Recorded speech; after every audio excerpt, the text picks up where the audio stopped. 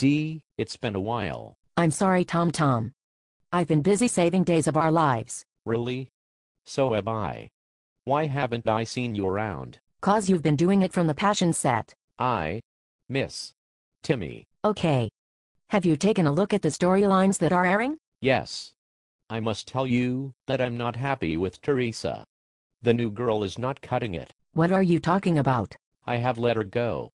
And hired Lindsay back. She and Ethan will rise again from the ashes. A love like theirs can never die. Kind of like passions. Have you killed any babies lately? I finally have gotten the message from the fans. They do not want to see any more babies die. So I'll kidnap them instead. Oh, the plot twist. Fans will love it. Almost as much as Ethan loves Theresa. Stay focused, Tom Tom. I miss Timmy.